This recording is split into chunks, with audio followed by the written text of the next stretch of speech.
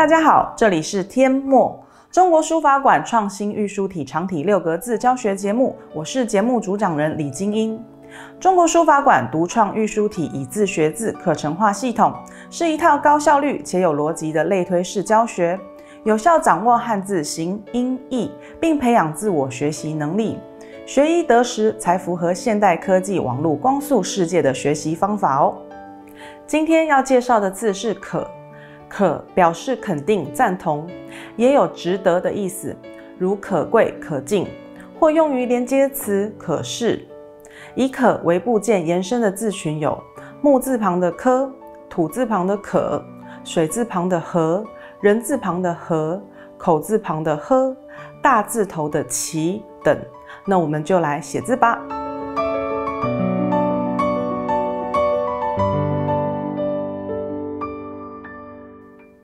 今天要示范的字是“可”，横画左低右高，连笔直接写“口”，用抛物线的概念书写，最后一画就会在中心线的右侧向上拉起，收笔。以“可”作为文字部件，加入三点水。水字旁代表与水有关，河是水道的通称，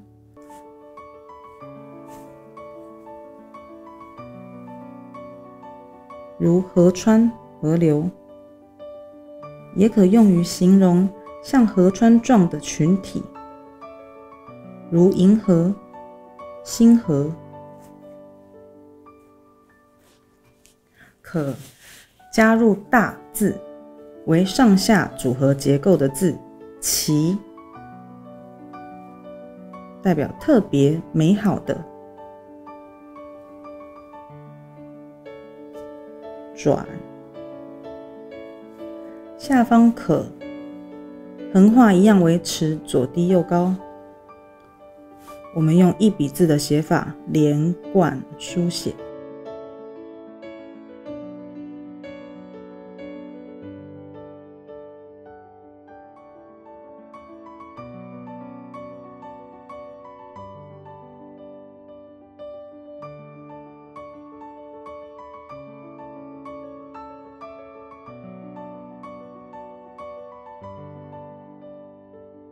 今天的课程就上到这里啦。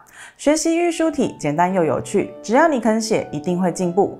接下来就由李清和馆长为大家带来一笔字表演。